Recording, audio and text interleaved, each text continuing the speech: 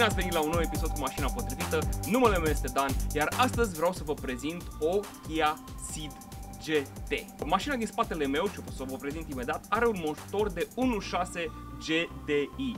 De GDI. GDI vine de la Gasoline Direct Injection și T vine de la Turbo. Deci, practic, este, este un motor de 1.6 turbo care produce 204 cai putere.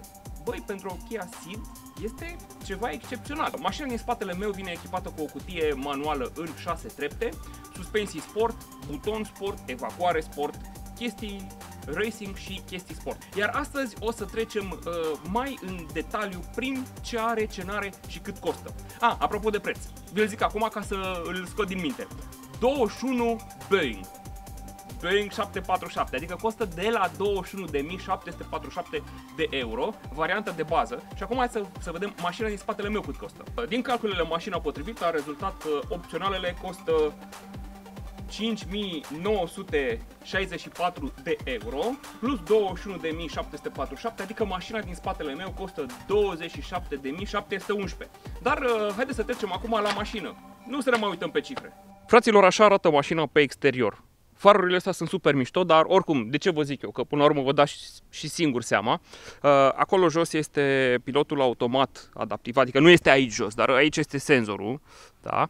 Uh, ce mai are? Mai are niște ornamente foarte interesante cu roșu. Vedeți, ăla din, din interior acolo sunt cu roșu, mai are ceva roșu uh, pe aici, pe buza asta. Ăștia sunt senzorii de parcare și aici senzorii pentru parcare laterală automată. Mașina asta are jante pe 18. Băi, fraților, mie mi se pare că arată absolut super uh, jantele astea. Cauciucuri 225-40 R18. Uh, sunt destul de dure la denivelări, dar dacă treci decent peste liniile de tramvai din București, atunci uh, sunt, uh, sunt chiar ok. Și mașina se simte foarte bine cu roțile astea, adică Uh, în general, suspensia nu este prea dură, nu este prea moale. Pentru oameni tineri este absolut ce trebuie. Butonul ăsta de aici este cam intrusiv, ăsta nu-mi place așa de mult și îmi place uh, că are două culori, oglinzile cu negru și plafonul cu negru. În spate LED, senzor de parcare, mi se pare că este ce trebuie. Uh, desigur că aici are și un, un sticker Uh, cu mașina anului, ca să știi. E mașina anului 2019 în România. Nu știu exact cine a dat premiul ăsta, dar uh, da, oricum este mașina anului. Uh, avem o, un canal de evacuare și încă un canal de evacuare, iar pe dedesubt putem observa că toba chiar duce la cele două evacuări, deci nu sunt fake. Fără modul sport activ, se aude așa.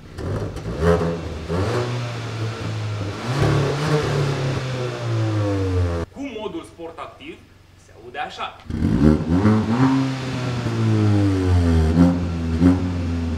Deci cam asta este diferența. Are o clapetă și sunetul nu este fake. Desigur, ca toate mașinile moderne, prin boxe uh, bagă ceva sunet, uh, am înțeles că un 10% să se audă mai puternic înăuntru. Asta este și motorul 1,6 litri, uh, dezvoltă 150 de kW sau 204 cai și are 265 de Nm sau Nm-metri, depinde cum vreți să, să spuneți. Motorul este unul destul de simplu și Kia dă garanție, bă fraților, 7 ani.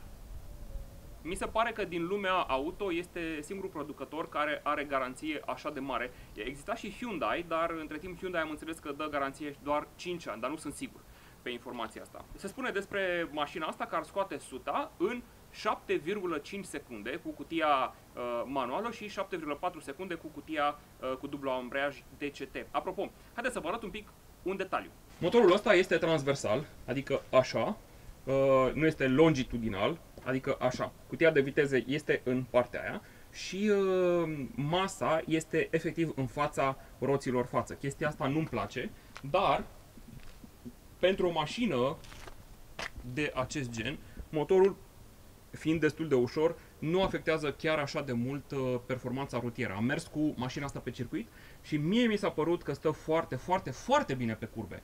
Desigur că dacă o forțez prea tare, fiind cu tracțiune față, va avea un uh, comportament uh, subvirator. N-am forțat-o tare, așa că s-a simțit super ok.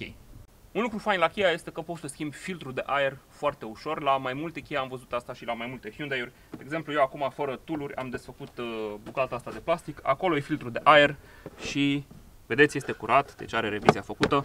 Și ca să-l pui la loc, sper să și reușesc să-l pun la loc, potrivești clemele alea acolo și închizi clemele astea două de aici.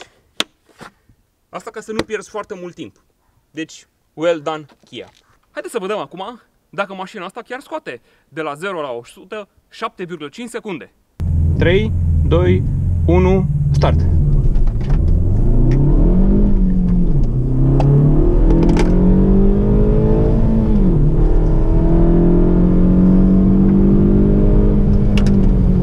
Portbagajul nu este foarte mare, dar are spațiul ăsta de aici de depozitare și mai are, de exemplu, aici pot încape un, un trepied în spate acolo. Deci asta este decent. Sper să nu le uit aici. Așa, să vedem acum locurile din spate. Locurile din spate arată super, super bine. Uh, îmi place tapiseria, îmi place accentul ăsta. Deci este un loc chiar foarte, foarte mișto. Locurile din față arată foarte, foarte bine. Scaunele astea sunt prelucrate excelent, oferă un suport lateral foarte bun și nu sunt premium, dar ai, ai o senzație de confort, adică sunt arată bine, sunt bine prelucrate, sunt ajustabile, arată foarte, foarte bine. Uh, la fel de bine arată și pedalierul și fețele de ușă arată bine și cumva ai impresia de un lucru bine făcut. Volanul ăsta de la Kia, în primul rând, arată bine, iar în al doilea rând, se ține bine în mână. Uh, știți că mă plâng eu de volane, bucata asta de aici este destul de subțire și uh, ai unde să ții și degetele în spate, deci două, are două puncte bune volanul acesta. Aici avem opțiunile de siguranță, monitorizarea unghiului mort. O chestie foarte ciudată este că farurile sunt ajustabile manual. Mm, așa, n-am mai văzut la alte mașini. Monitorizarea unghiului mort, SP off. Uh, luminozitatea, pentru că display-urile astea sunt destul de luminoase și noaptea nu ți-e foarte bine pentru ochi. Și uh, monitorizarea uh, benzii. Sistemul ăsta monitorizează Uh, când treci de pe o bandă pe cealaltă fără să semnalizezi și are și intervenții asupra volanului. Mie mi s-a părut că intervențiile astea sunt destul de decente față de alte mașini, adică nu, nu-ți rupe volanul din mână. Mașina are și sistemul ăsta de self-parking. Mie mi se pare că nu este nevoie de sistemul ăsta pentru că vezi bine din ea, este ușor să o parchezi. Senzor de parcare, start-stop, și uh, modul sport. Când apeși pe ăsta, efectiv se schimbă, se schimbă sunetul uh, tobei. În rest aici avem uh, scaune încălzite, șofer pasager și volan încălzit pentru șofer, pasagerul nu are volan. Sistemul de climatizare cu butoane, poți să le apeși, clasic, super ok. Meniul ăsta de aici, după aia, mi se pare puțin ciudățel. Sincer, nu prea îmi place. Așa, nu știu, pare, pare cam ieftin, cam nu știu exact. Cu toate că se mișcă decent, bă, nu mă fă de rușine acum. Deci se mișcă relativ uh, decent. După cum ați, ați putut observa, trapa ajută la foarte multe chestii. Când vrei să te ascunzi de dușmani, când vrei să, nu știu, te poți duce fix sub semafor să vezi, să vezi exact semaforul și să fii primul, deci uh, la chestia asta ajută. Sau dacă ai de făcut filmări pentru nunți, botezuri. Vloguri. Sau pentru vloguri, exact. Cam asta este mașina oarecum în mare, cam astea sunt câteva dintre dotări, dintre opțiuni, cele mai interesante. Uh, haideți să vedem cum merge. Dragilor, uh, așa se conduce mașina aceasta. Vom, vom, vom, vom, vom, vom. Da, din păcate stăm în trafic, uh, nu pot să vă arăt acum cum se conduce. Uh, v-am arătat în episodul trecut cum merge mașina asta pe circuit și merge foarte bine, deci nu e nevoie acum să o calc. Uh, da, este o mașină decentă mie mi se pare super decentă, având în vedere puterea, având în vedere suspensia, având în vedere ce mașină este. Um, ce îmi place la ea este că este destul de directă, vezi bine din ea, este confortabilă. Băi, ăștia de la Kia au făcut o treabă foarte bună cu mașinuța asta. Um, se conduce bine la viteză mică. Uh, pedala de accelerație mi se pare că are 3, 3 zone de accelerație are zona normală de mers în trafic, unde nu te bruschează și efectiv uh, turbina nu are boost este super decentă, e totul, totul este normal.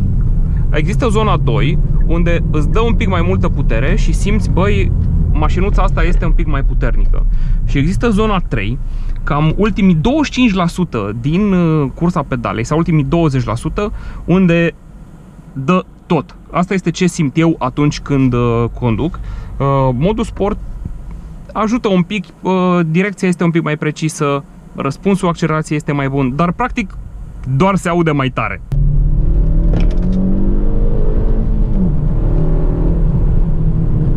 Da, este fun to drive și are multă putere. Putere controlabilă. I like it. Weekendul ăsta am avut mai multe mașini de test și uh, de fiecare dată când a trebuit să mă duc până undeva să iau, nu știu, lapte, ouă, habar n-am, să fac ceva cumpărături, de fiecare dată am luat cheile de la, de la această Kia și m-am dus până acolo, până dincolo, adică cumva a fost cea mai la îndemână de condus.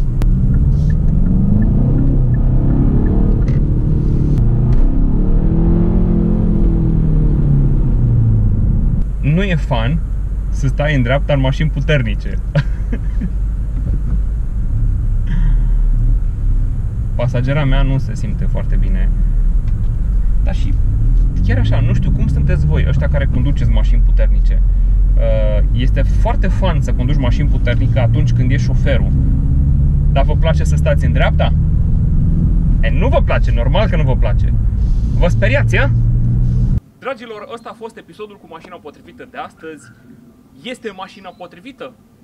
Bă, da, da, are multe plusuri, are multe opțiuni. Opțiunile sunt scumpe, dar nu la fel de scumpe ca la alte mărci. Ce e impresionant la mașina asta este garanția. Bă, fraților, 7 ani garanție, adică este destul de mult și mai ales pentru o mașină sport. Mi se pare că e, arată bine, merge bine. nu mi-au plăcut așa de mult farurile, uh, noaptea la alte mărci se, se văd mai bine.